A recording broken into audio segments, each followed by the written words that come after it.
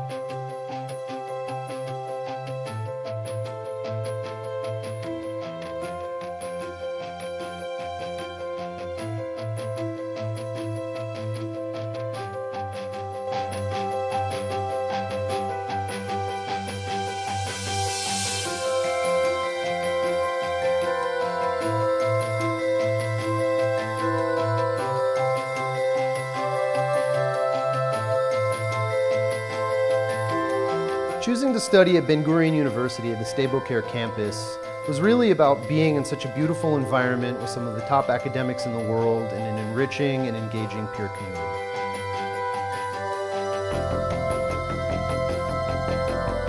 The BGU Israel Studies program is located in the Negev, which is the heart of what Israel Studies discussions are all about.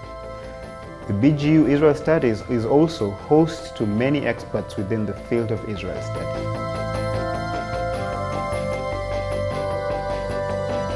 I think for Israel it's important to have internationals to speak on behalf of the country. Sometimes it's a better reputation when a third person says something about you.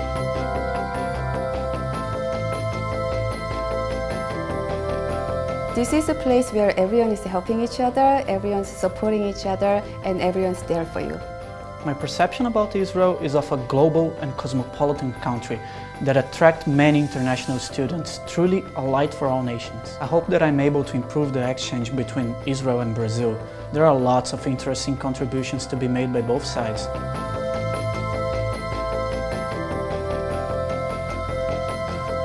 The studies improved my perception about Israel and knowing how Israel got its greatness within a short period of time. I see myself as an ambassador of Israel. I would strongly recommend the people to come down here and see it themselves and experience all the beauties that Israel has to offer. I plan to approach my PhD and start my academic career to give Israel a positive representation. We were surprised to see that the Israel phenomena is attracting students from all over the world, representing a variety of religions and cultures from places we couldn't even imagine will be attracted to this topic.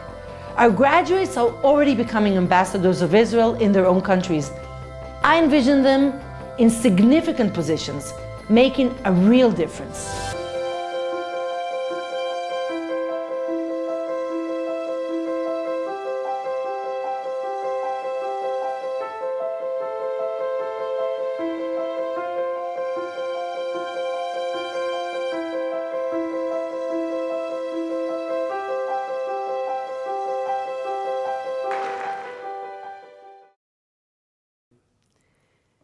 We've spent quite a bit of time at these meetings reflecting on the early days of Ben Gurion University. What distinguished us? We were tasked with fulfillment of the vision of David Ben Gurion. He foresaw, as Paula already read to us, an Oxford and Yavne in the desert. He had led the way through personal example. Unfortunately, not too many followers, but still a very strong personal example. The instructions he felt he left upon his death provided that his, his archive, the centerpiece of Israel's first presidential library, would become the living core of an institute that would bear his name and which would anchor the study of Israel, of how this state came to be. So it is here that the unique program for the study of Israel began. It is here that this program has, over time, evolved beyond its original mandate to serve as a gathering point for outstanding young Israeli scholars, to become a worldwide center for Israel studies, a home for what will be known from this morning on as the Woodman Scheller Israel Studies International Program.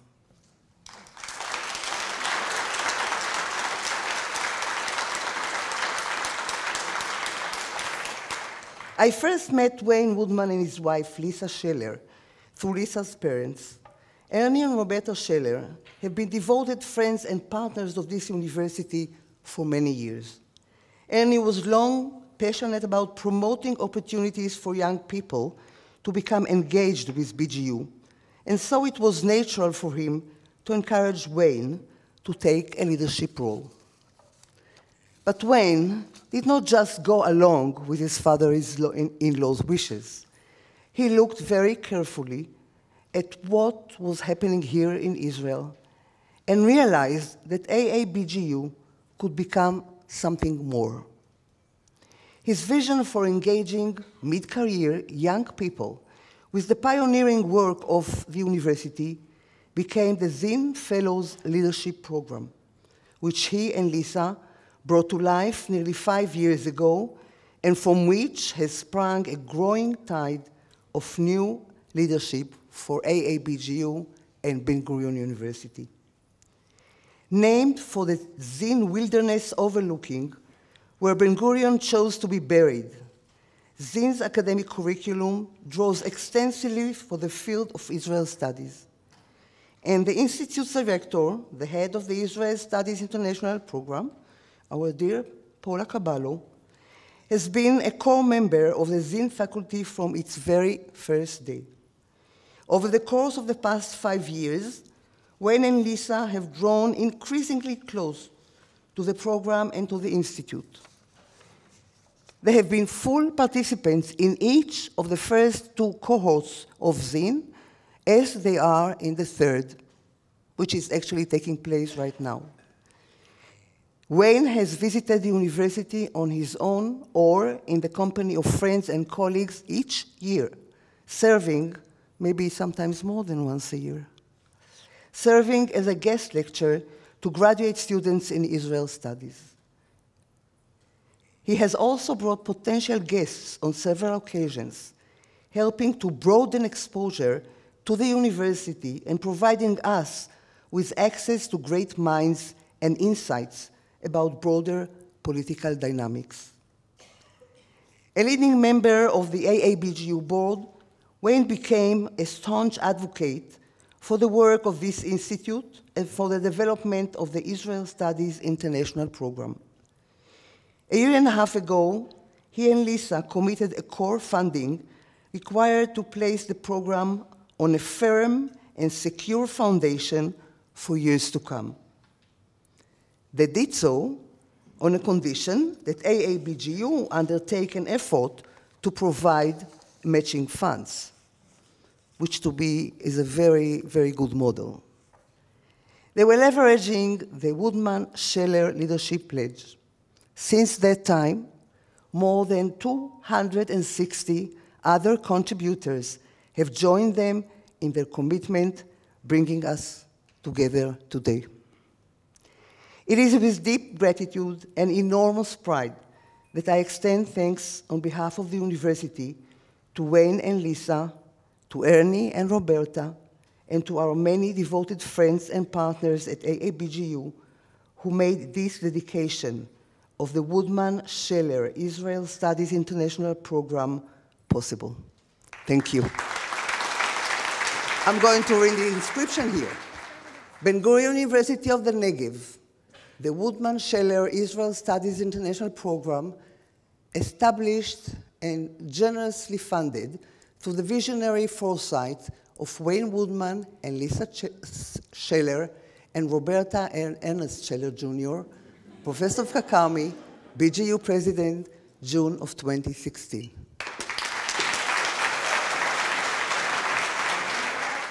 I am very humbled and reminded of the great American comedian Bob Hope, in a similar circumstance, who also said that he felt nothing but great humility at this moment, but he believed that the strength of the remaining character he had would overcome it. so to President Carmi, to Dr. Kabalo, and most importantly, to Dr. Scheller, Roberta, and to my wife, Lisa, three people who this wouldn't be possible without and who have believed in me and my ideas and the initiatives that I take to convert them into reality. My parents emigrated to America in the spring of 1940 as the Nazis were crossing the French border. As new arrivals, my mom and dad wanted the very best education for me and for reasons that I've never fully understood, sent me to 13 years of Episcopal boys' prep schools. I was one of a handful of Jewish kids amongst a swarm of wasps. I was called a Christ killer, a dirty Jew, and a kike on more occasions than I'd like to remember. A generation later, my children have never experienced anti Semitism. And while that that's progress. It has also weakened their ability and their generation's ability to detect the presence and the threat of this undying evil. Anti Semitism is on the rise. It's on the rise in ways unseen since the 1930s. We still say never forget. But despite the rush of distressing events and the creeping insinuations that emanate from academic and political leaders, we tell ourselves it's not quite time to remember. Not yet. Not, not here in America. Perhaps non Jews think that the growth of anti Semitism doesn't apply to them. Well, let me tell you that we Jews may be first in line, but we are never last. We are the canary in the coal mine when evil poisons the atmosphere for freedom and for tolerance. Turning points in history begin in vacuums. Complacency allows evil to fill the void, and good people rationalize its inevitability until leaders with vision confront reality and decry those who willfully ignore it. Their vision and honesty inspire courage in those who are uninspired, those who have come too late to realize that all they were trying to protect by not confronting, confronting evil, their families, friends, businesses, and way of life, is at even greater risk now. These were leaders like Lincoln, Churchill, Roosevelt, and Reagan in the West, and like Ben Gurion in Israel. None perfect, but each perfect for their time. Each arrived in the aftermath of good intentions, intentional weakness, and studied gullibility. Each arrived in the wake of weak men unwilling to consider any consequences that failed to fit the false reality that they had shaped in their minds. Today, it is out of favor to speak of exceptionalism because we are once again in a time of weak leaders. But America and Israel are exceptional nations, exceptional because they are rare in history. They are better off because they are exceptional. History is nearly always a story of the strong crushing the powerless. America and Israel are rare because both have flourished as a free people, no longer subject to the dictates of thugs and autocrats. America and Israel have walked very similar paths. Both were originally settled by the religious rejects of Europe. Our wars for independence were considered futile and doomed. Both countries form new societies based on long-standing moral principles, and both are administered through an innovative form of government. Each opened her doors as a refuge for the oppressed, a frontier to pioneer a new life. And both America and Israel are under assault from forces led by radical academics and Islamic extremists. Israel is well known as startup nation, but it should be more properly known as startup civilization. Western civilization began the moment Moses came down Sinai with the law. These laws transformed human society from the tribal to the community, where shared values promoted tolerance, where property was protected from brute force, where deferred satisfaction ruled over instant gratification, and where self interest conquered selfishness. These values are ancient but durable truths. They underlie every modern Western nation. They aren't true because they are old, they are old because they are true.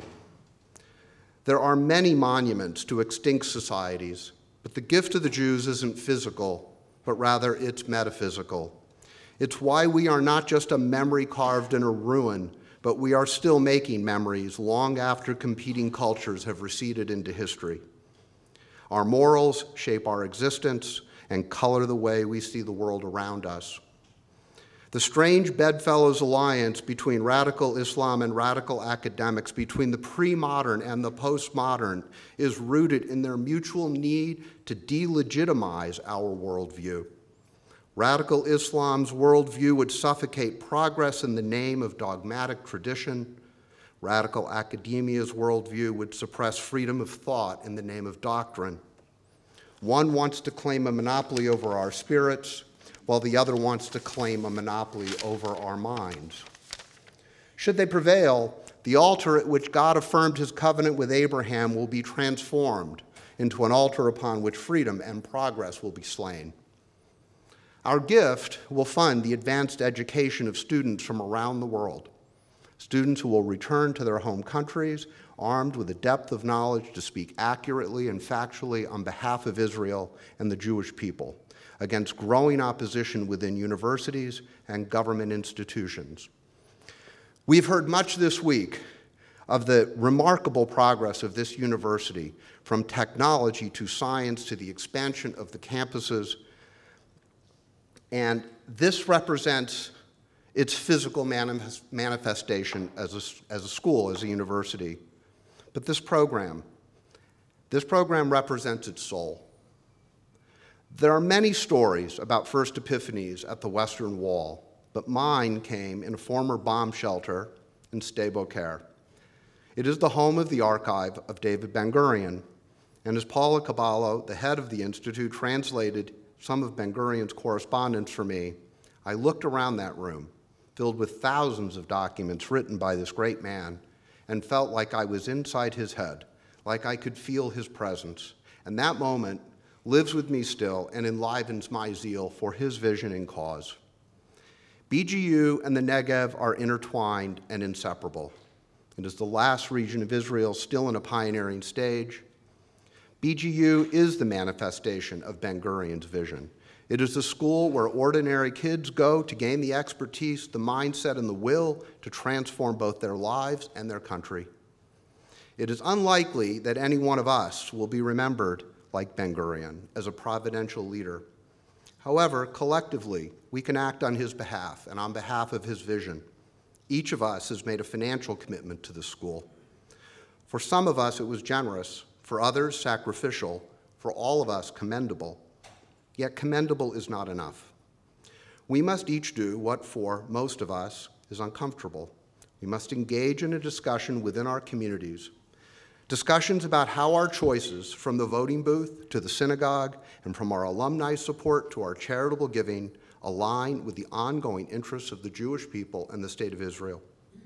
We must tune our actions until they resonate with the music of our hearts, the Song of Zion. Speaking as the son of ordinary parents who came to America to ensure extraordinary opportunities for me, I want to thank you all for this great honor in supporting this remarkable school and the Institute of Israel Studies. Thank you.